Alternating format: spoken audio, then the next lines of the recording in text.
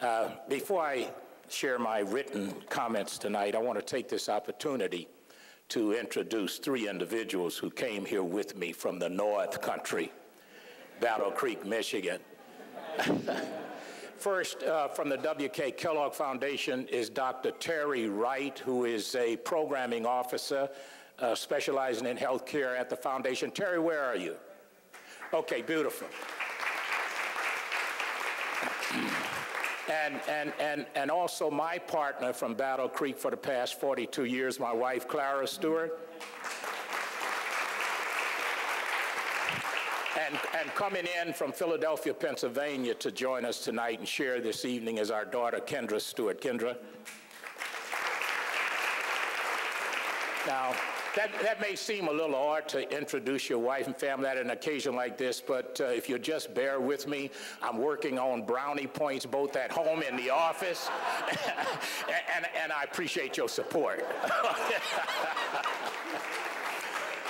Okay, in, in beginning, let me just uh, say it is indeed my pleasure to serve as the co-chair of this event with uh, Jim Walton, the president of CNN uh, Worldwide, and also Ms. Jane Fonda. Uh, these individuals have been strong voices in the community for a long time, so it, it's my pleasure uh, to be here and to participate in this. For those of you who may not be very familiar with the W.K. Kellogg Foundation, let me just say a little thing about our grant making strategy. Our approach to grant making is to use our resources to help people help themselves.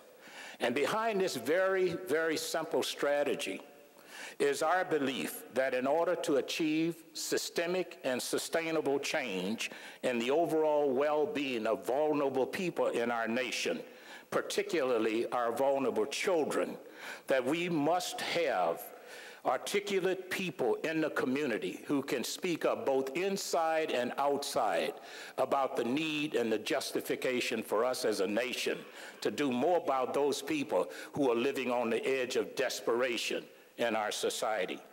And with this very brief background, I will share with you that uh, almost 10 years ago now, our foundation, the W.K. Kellogg Foundation, uh, made several uh, meaningful grants to people around the country in an effort to help strengthen community voices.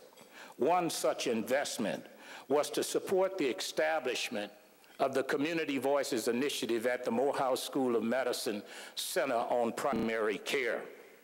And I can tell you, standing here tonight, that we did that not only because we recognize what a great institution Morehouse is and the kind of engagement it has had historically in the community, but it was a show of our confidence in the vision, the determination, and the leadership of the distinguished Dr. Henrie Treadwell.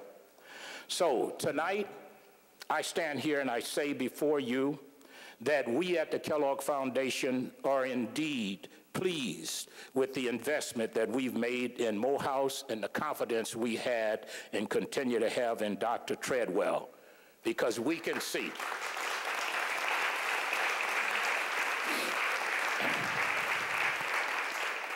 because we can see as we intended that we are in fact helping people help themselves we can strongly, we can see strongly that community voices here are having a direct result on our, on the need in this country to have stronger voices. At this important, as this important work continues, I also want to take this opportunity to say as this work is expanded, it is in need of additional support and involvement from a larger number of funders. And we want to encourage everyone who might consider this as a part of their vision and mission in this country to jump in there and participate in expanding this work. I saw earlier Dr. David Satcher. David, are you, Dr. David Satcher. Uh, I've known uh, Dr. Satcher and another person I've worked with for years in medical education for South African blacks that's the main part of this community, Dr. Louis Sullivan, who is president of Morehouse early on. We work with these people because they have in fact built quite a legacy of support for community voices. And so I want to say to you guys that we in Battle Creek, as philanthropists, feel rather fortunate to have had the opportunity to work with strong people like you have been in the community.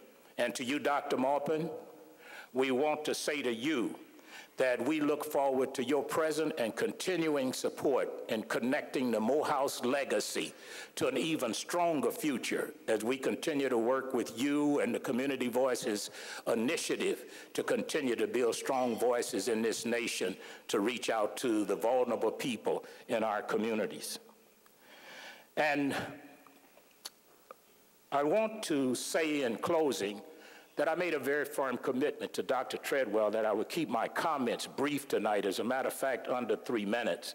So I'm, I'm not sure that I have kept that commitment, but I, I am sure that if I would pass up the opportunity to make some comments to and about Miss Soledad O'Brien, that I would never forgive myself. So I will make some brief comments now. Uh, first, on the light side, Soledad. Uh, for more than 20 years, I had the great pleasure of being a corporate officer at Kellogg Company in Battle Creek. And during those 20 years, I ran around the world with a very famous tiger by the name of Tony the Tiger. and I just want to say to you, uh, having seen you and seen your work, that if Tony would ever have the opportunity to be in your company, I can assure you that he's probably going to say something like, you're great.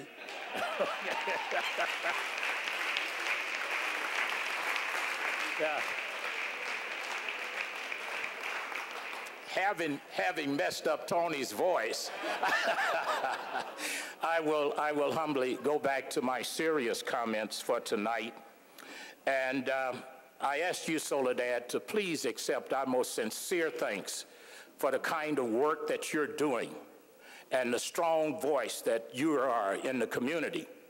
And all of last week, so many of us in America saw you in action as you did your special report on the assassination of Dr. King.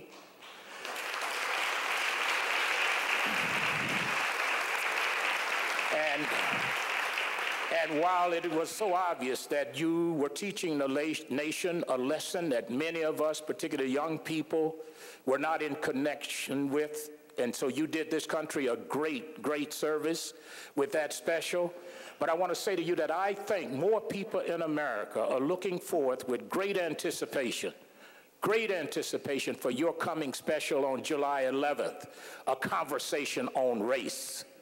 And, and I think you are on to something big. And remember, I said that to you tonight. I think you are on to something big in this country. I think the time has come. I appreciate so much that you have the vision and the courage to bring this nation to a conversation on race. So we appreciate you so very much.